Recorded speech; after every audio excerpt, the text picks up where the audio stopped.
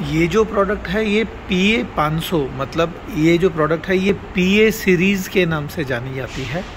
इसमें P A पाँच सौ के जी कैपेसिटी छः सौ के जी कैपेसिटी आठ सौ के जी कैपेसिटी हज़ार की जो कैपेसिटी बारह सौ किलो कैपेसिटी इस तरीके से रेंज आती है। हम लोग यूजुअली पी ए पाँच सौ पी ए हज़ार और पी ए बारह सौ, ये दो रेंज मेंटेन कर, तीन रेंज मेंटेन करते हैं। अगेन इसमें दो क्वालिटी आती है। एक हम लोग येलो सीरीज़ मेंटेन करते हैं, एक हम रेड सीरीज़ मेंटेन करते हैं। मैं सबसे पहले तो डिस्कस करूँ पी ए पाँच सौ। पी ए पाँच सौ में रेड सीरीज़ और येलो सीरीज़ में क्या डिफरेंस है? पहला फ़र्क रेड सीरीज़ की मोटर चौरस होती है, जो थोड़ी सी महँगी भी होती है लुक भी अच्छा होता है क्वालिटी भी बेटर है। येलो सीरीज़ की मोटर कंपेयर टू दैट थोड़ी सी हल्की क्वालिटी की होती है राउंड क्वालिटी होती है। जो रेड सीरीज़ है मैं आपको बता दूँ, ये सारे जो डिफरेंस मैं भी आपको बता रहा हूँ, ये सब पी ए के हैं। यानी 500 किलो कैपेसिटी का जो हॉइस्टर जिसे पी ए कहा जाता है, मैं उसके डिफरेंस बता रहा हूँ आपको। पहला डिफरेंस मोटर का है, उसमें चौरस मोटर आती है, इसमें राउंड मोटर आती है। दूसरा जो डिफरेंस है, वो वायरोप का है। अगर हम रेड सीरीज़ में जाते हैं तो पाँच एम mm का वायर हम लोग इम्पोर्ट करते हैं।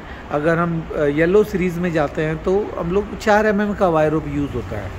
तीसरा डिफरेंस आता है रिमोट का।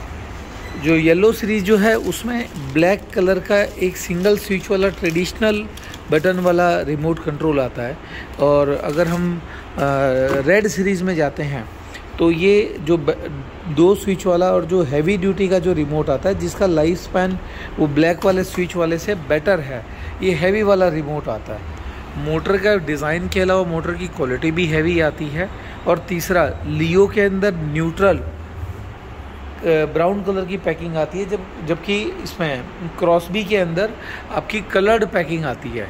और तीसरा बात क्रॉसबी में जब हम दो दो पीस के ऊपर दो दो पीस की अगेन लकड़े की पेटी की पैकिंग भी आती है। येलो सीरीज़ में एक कार्टून में दो आ, क्या नाम है पी ए होइस्ट आएँगे मतलब टोटल कार्टून पैकिंग आएगी उसमें लकड़े की कोई पैकिंग नहीं आती। ट्रांसपोर्ट में कपड़े का पैक लकड़े का पेटी होना सेफ्टी की दृष्टि से बेटर है। रेड सीरीज़ की हॉइस्ट येलो सीरीज़ की हॉइस्ट से थोड़ी सी क्वालिटी वाइज भी बेटर है और प्राइस भी हाई है।